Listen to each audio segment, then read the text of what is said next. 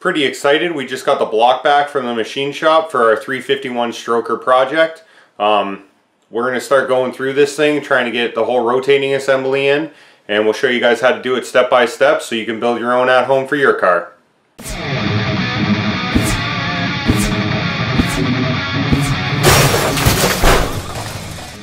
So we're going to start assembling our 351 Windsor today. Uh, just got it back from the machine shop. Um, it was bored over, line honed here, new cam bearings in the bottom put in, new frost plugs.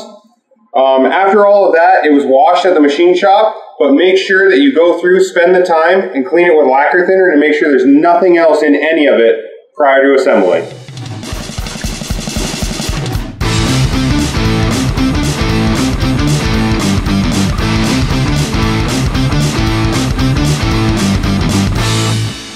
So you just saw us clean the block with lacquer thinner uh, after we got it back from the machine shop. We're going to do the same thing to the crank, make sure the crank's perfectly clean. And I came in and I put the main bearings in, and this side has a slot in it you can see for the oil.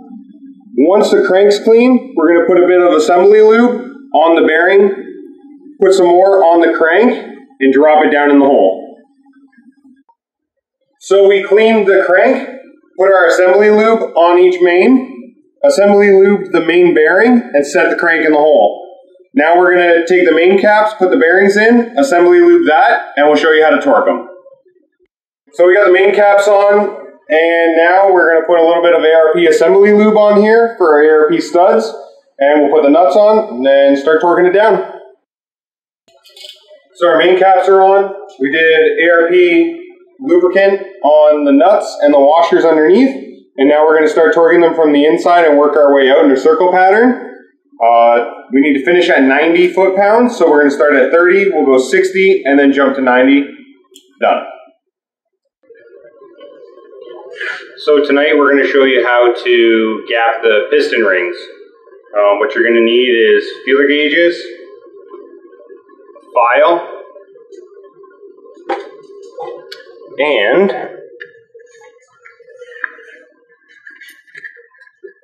a little grinder. So this is what we have. And you put the piston ring on here, and then you slide it forward and backward like this. And that will grind the piston ring according to where this dial set. And what you do is slide the piston ring in the piston bore. And then you're going to take another piston and you can see it's got the top ring on it. You're going to set the piston in, press the ring up so it touches the block, and that's going to ensure that the piston ring is parallel with the surface that the head mounts on. What you're trying to do is, if you can see, if you can see the gap in the piston ring right there, right above my finger. You're measuring that gap. So on this motor, we're looking for 26 thousandths of an inch gap. So you're going to take your feeler gauge and put it in the hole. And you're going to measure where there's just a little bit of drag on that. So this shows 26 thousandths of an inch, you can see there. Perfect. So, that top ring is done. We're going to set it aside with that bore, or that piston that's going to go in that hole, and that one's set for that. We move on to the other seven cylinders now. I forgot to mention, every time you're finished uh, grinding the ring, say you're going to check it to see how much you actually took off. Every time that's done, you need to go take your file and clean the edge. What I mean by that, let me get out of the way here, is you're going to cut this edge here. You need to take the file and take the burr off that edge before you measure the gap that's in the middle. If you don't, you may be measuring the burr and you won't have the right size. Okay, so that's all of them. Took about a half an hour. Um, it's a little faster with this electric one. Um, if you have the hand one, it may take you a little bit longer. But again, you just want to make sure that when you're doing this, you're going to file the edge when you're done grinding, and when you put it in the cylinder, that the gap in here is what the piston manufacturer recommends. Now we're going to go through, we're going to lacquer cleaner them, make sure there's no grindings on them, install them on the pistons, and then start to assemble. Now I'm going to show you how to put on the piston rings. Um, so you're going to take your piston ring, make sure you have the top and the bottom so you know which one is going to go where. This piston ring is my bottom ring. So as you can see here, you have the top ring that's going to go right in this slot here. Then you have this bottom ring slot. And then the very bottom is your oil ring here. It's a three piece that you have to put in. This ring that I'm going to put on is the second. So we're going to put it into the first slot. And what you do is you insert one side of it and then slowly just walk it around like this and it'll drop right into place. There you go. So now it's in the first ring. We're going to drop it one more the exact same way. Start with one edge here, push it down, and you're just going to walk it all the way around. Just move your finger like this, and it'll drop down into where you need it.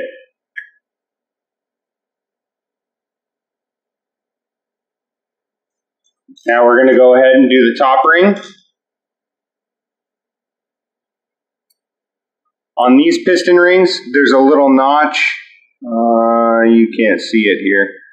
But there's an M on it to say that that is up. So make sure that's up. And we're going to do the same thing. Start one corner and just walk it around with your finger. And it'll drop right in. Bang, done. That's all it takes put on piston rings. So we got our piston rings. Uh, top ring is 26 thou. Bottom ring is 24 thou. Assembled the piston onto the rod with the wrist pins. A little bit of assembly lube goes on there. Now we're going to put the bearings in. We'll put a little assembly lube and then we'll come over to the engine where you put the piston ring compressor on and you press the piston up through the bore and connect it onto the crank.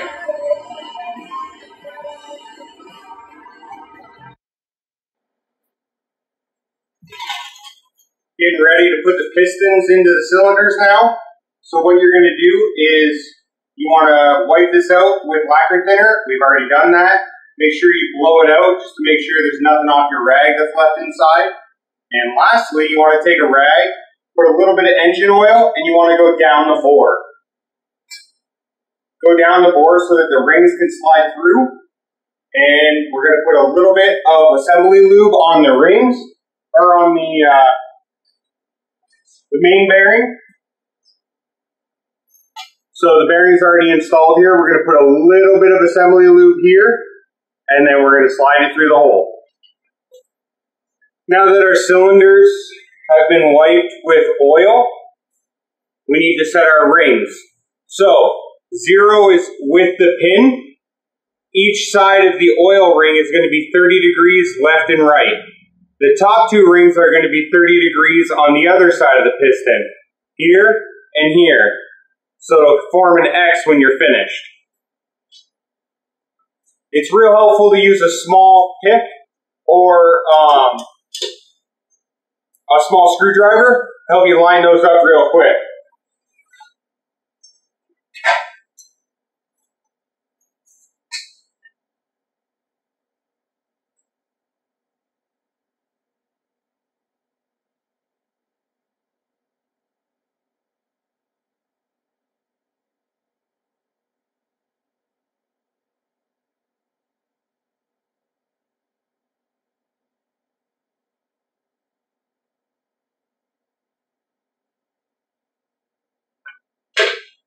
Okay, that's our lower two on the oil ring. We're going to have one piston ring there and one there. Now we're going to take our piston ring compressor. This again is just a cheap taper one off of Amazon. Um, I think it was 18 bucks. You can buy them anywhere from 18 bucks to 210 from Snap-on. So just buy, you know, if you're going to build a lot of them, you might want to get an expensive one. I hope to only build this thing once, so we bought the one off of Amazon.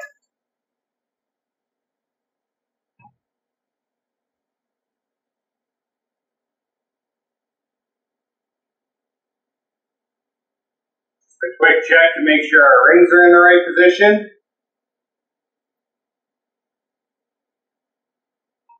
And you slip it through.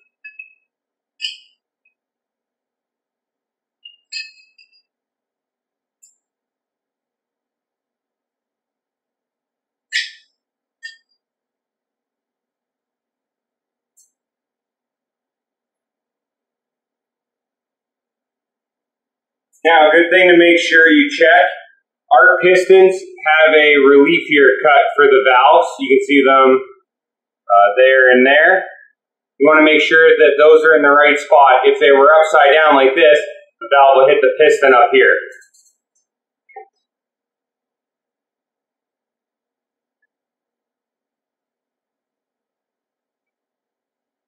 So you slide that on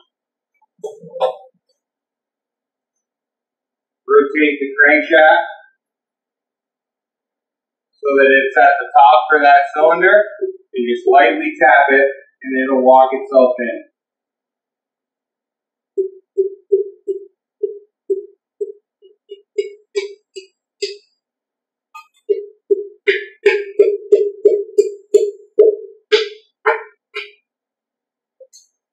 Easy as that. Six more to go. So last night we torqued up the main caps uh, for the rods. The rods got tightened to 75 foot-pounds as they are ARP 2000 bolts. Um, so again, just work your way up. We started with 30, went to 50, then we went right up to 75. Now we have the girdle in place. We're going to put some Loctite on the um, threads and we're going to drop the nuts on. Those get torqued to 40, and then we're going to drop the oil pump in. Make sure you don't forget the oil pump drive here. So that'll go in, oil pump goes down, and we're almost ready to put the oil pan on, flip it over and start doing the top end. So we have the nuts on, a little bit of Loctite. Now we're going to torque them. They go to 40 uh, foot-pounds. So what we're going to do is start in the middle and work our way out in circle pattern the same as you do with the main caps.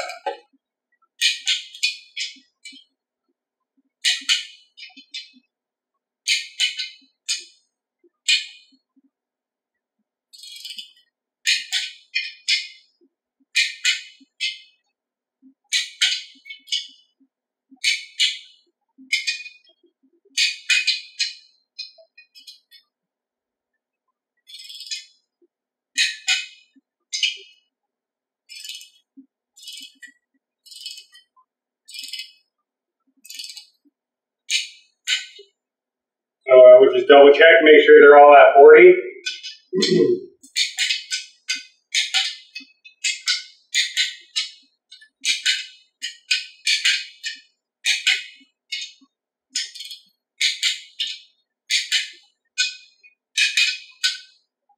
That's it, as easy as that.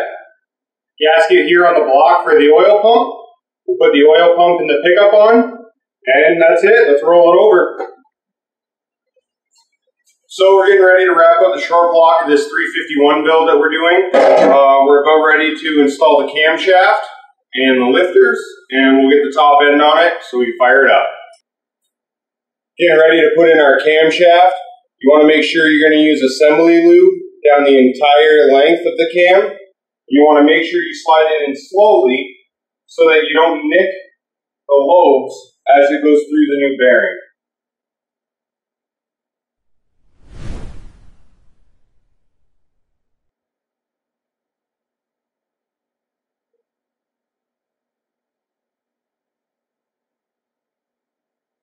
Assembly lube on.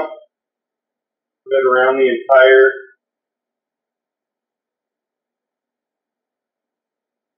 bearing surface.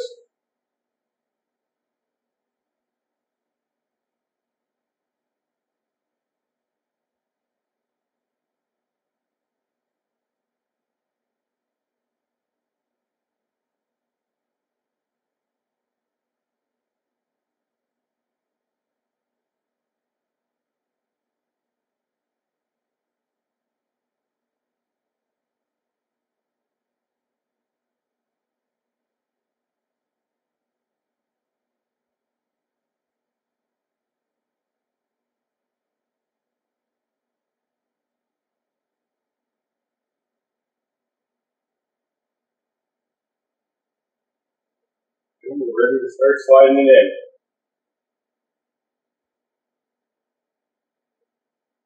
Take your time.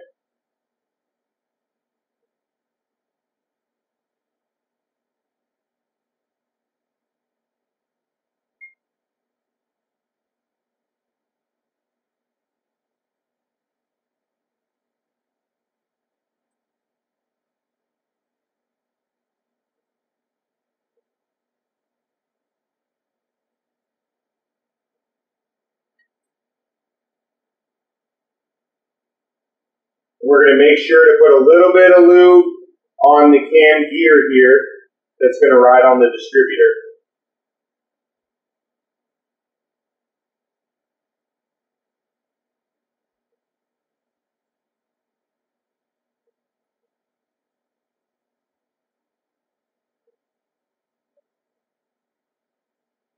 And we're ready to slide it in the rest of the way.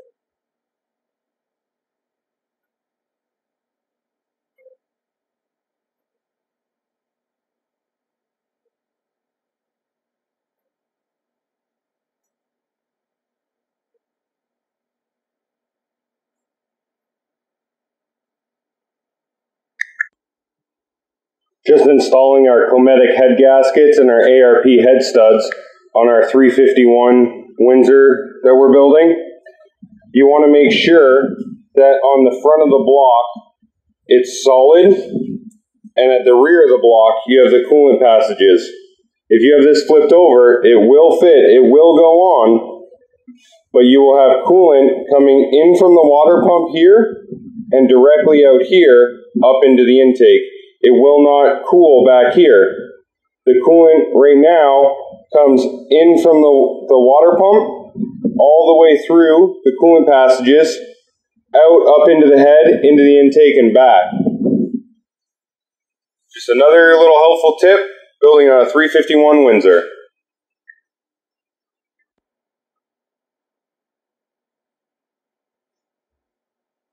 Got our ARP head studs in place. We started at 40 foot pounds, moved up to 60, 80, 90, 100. Now we're going to finish at 110. Make sure you go on a circle pattern from the inside out.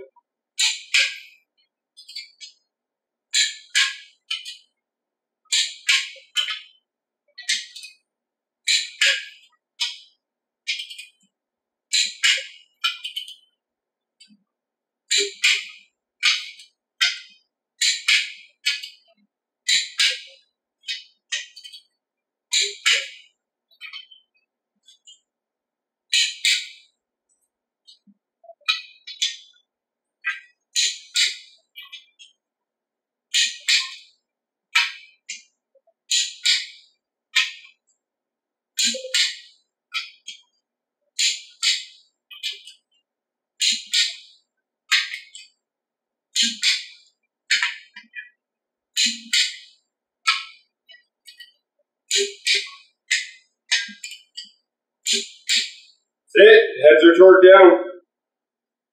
So it's changed a little bit from last time you guys saw it.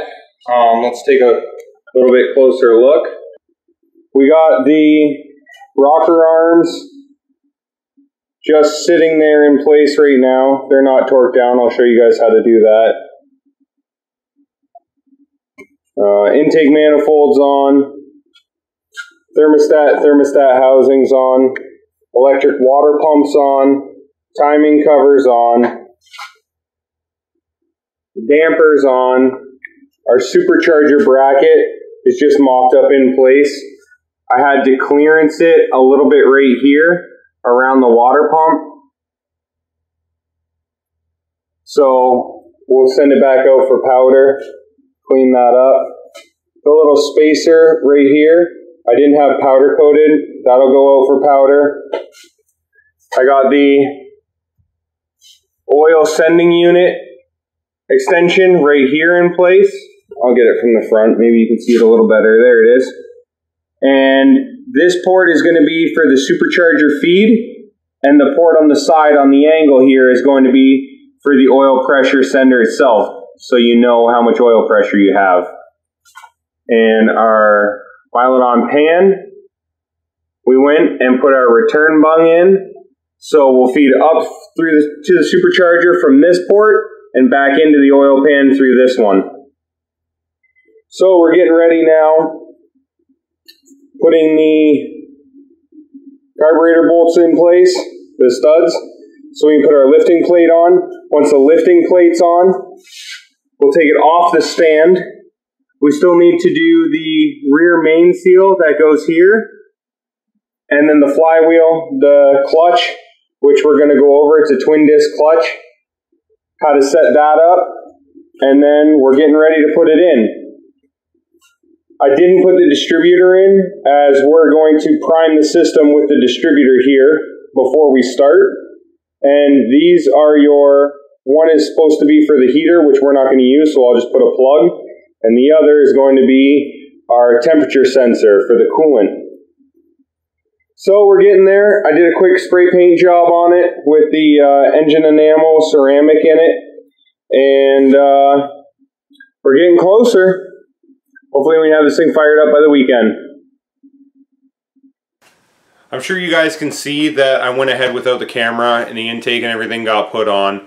Um, sometimes when you get into a build, and the battery on the camera dies, you're you're so close, you just want to keep going. So that's what we did. Um, you know, it's not that big of a deal to put a intake manifold on or a timing cover in there anyways. So I went through all the really hard stuff with you, gapping rings and setting all your crank and everything in the hole. So, you know, that's, that's the real important stuff. An intake manifold or a timing cover, that's little piddly stuff. Um, you'll see the timing cover and the water pump on this one have to come back off uh, as the water pump hits the supercharger belt. So it'll go through that in the next video. I still have not adjusted the rockers. We're going to be going back and doing that. Um, I had a problem with the distributor from MSD, so they took it back and they're going to be taking care of that for me. And once we get it back, we'll go back through the car and set up the rockers and everything else. So we'll still get the video on that stuff, but I jumped ahead on it. Um, I hope you guys liked the video here, putting this thing together. It was a lot of work, but you know what? It saves a ton of money doing it yourself. Uh, you could take it to a machine shop, of course, and have them do it for you, but there's a little bit of pride in doing it yourself. So if you like what we see, share the video and uh, subscribe. We got a bunch more coming.